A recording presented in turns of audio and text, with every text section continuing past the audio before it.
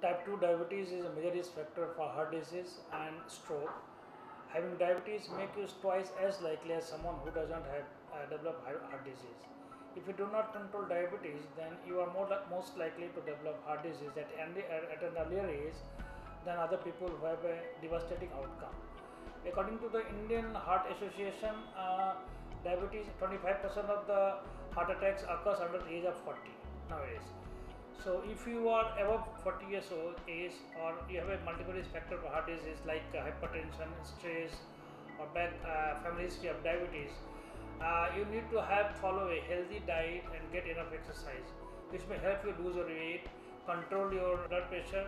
So for this you need to follow some simple steps. Keep uh, uh, your sugar and lipid uh, levels in control. Lower your high, lower your high blood pressure. Get get uh, active and do a suitable exercise. Choose good nutrition, healthy nutrition. Lose weight. Stop smoking and uh, escalate uh, and uh, also use less salt.